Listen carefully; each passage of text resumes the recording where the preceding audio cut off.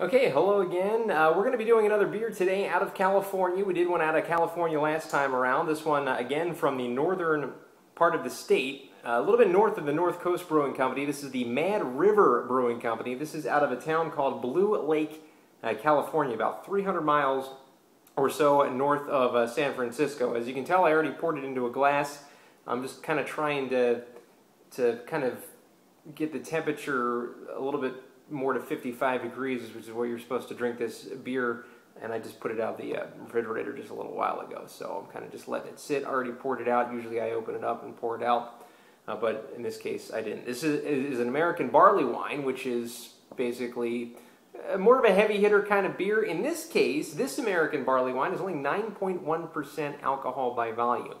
Uh, usually American barley wines range somewhere between 8% and 15%-ish uh, or so. This one's a little bit on the lower scale. This is a 2008 uh, vintage uh, barley wine, and it's called John Barleycorn, as a matter of fact. And when I think of John Barleycorn, uh, I usually think of the band Traffic and their album John Barleycorn Must Die, which I believe is their fourth studio album or something like that. So I'm thinking in the back of my mind, and I don't really know much about the history. Didn't really brush up too much on uh, Mad River's uh, history or the, why they named beers the way they named them. But I'm just kind of thinking maybe it's probably uh, the Traffic album. I could be wrong though. They may have never heard of it, as far as I know.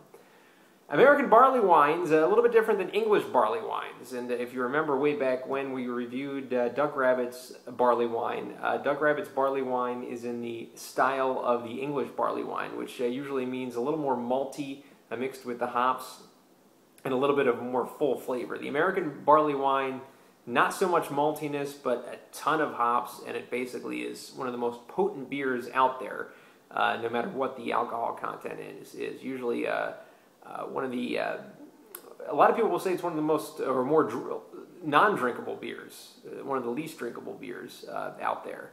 Um, a lot of people say uh, it's an aperitif, and if you go to a restaurant, you order a barley wine. Usually, they'll sell they'll sell it to you in uh, maybe a six ounce glass. It's not usually a beer that many places sell in 12 ounces or 16 ounces for that matter. this, however, is in a 12 ounce bottle, so I'm going to drink the whole darn thing, I think.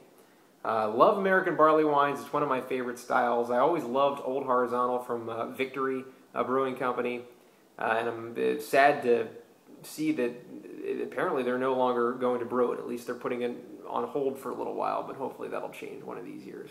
Let's grab a whiff of the John Barleycorn Barley Wine Ale, and I'm definitely getting that coppery smell. It's very uh, reminiscent of Old Horizontal. Very coppery smell. As you can see, it's a very, very dark brown uh, barley wine. The American barley wines can be light brown. They can be uh, uh dark brown. This is definitely a darker brown barley wine. A nice head on it still, um, which usually tells me that the alcohol content isn't too unbelievably strong. That's where the head would dissipate pretty quickly like it did with the uh, old ale that we had uh, last go-around from North Coast. So very good smell. Not getting much of the malt, but definitely getting a hoppiness to it. And we'll grab a taste. Mmm. I love this taste. And this is why I love American uh, barley wines. It's a full coppery taste. And by coppery, it might not sound very appetizing to you, but it, it cleanses your palate to the point where, you know, if you're having dinner or you're having a nice dinner and you want a drink that's not a cocktail, you want a beer before dinner, and you're at a nice place that sells barley wine, this is, this is to me, the aperitif. Um, it's, it's just very full. It will cleanse your palate.